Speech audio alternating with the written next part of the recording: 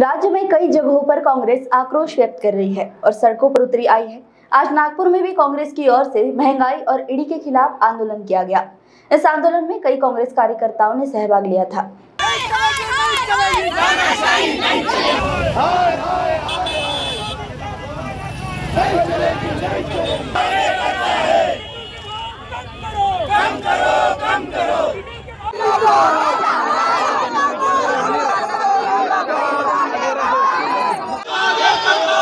जब जब मोदी जाता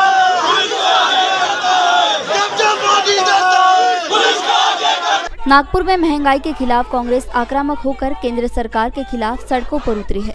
कांग्रेस पार्टी के कार्यकर्ताओं और महिलाओं द्वारा जोरदार विरोध प्रदर्शन किया जा रहा है। केंद्र सरकार ने जीएसटी बढ़ाया, ईंधन के दाम बढ़ाए।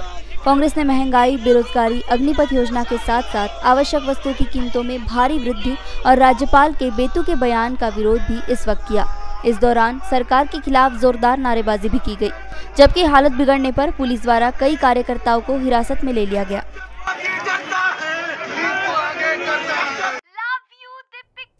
बाय सब जानना चाहते हैं। मेरा फेवरेट कलर मेरा फेवरेट डेस्टिनेशन मेरी फेवरेट डिश पर कोई ये नहीं पूछता कि फेवरेट डिश मैं बनाती कैसे हूँ। अरे यार, जिसे टेस्टी खाना पसंद है, वो अच्छे टेस्ट तक पहुँच ही जाता है। सुरुचि मसाले। खाने में हो रुचि तो घर लाइए सुरुचि।